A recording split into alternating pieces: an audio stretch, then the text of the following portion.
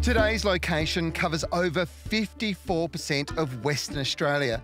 From the red earth to the white sandy beaches in Esperance, it's of course our golden outback. When we hear the word outback, most people automatically think of the mining town of Kalgoorlie, famous the world over thanks to its gold. The town was born in the 1880s gold rush when thousands made their journey to find a fortune. Kalgoorlie is a vibrant mix of rich history, colonial buildings, and enormous mining operations which are still to this day producing gold. Jump aboard a super pit tour and take a look over the edge to see firsthand how big the mine actually is.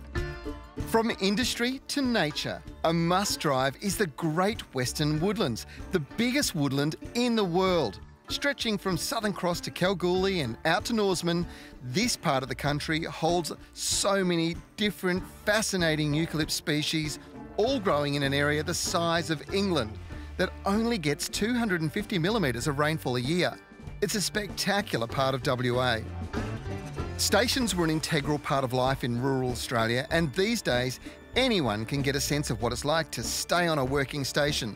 Places like Wooleen Station in the Murchison or Goongarrie Station are a great insight into life in times gone by. This time of the year is a time that gets the tourists flooding in for the spectacular show of wildflowers.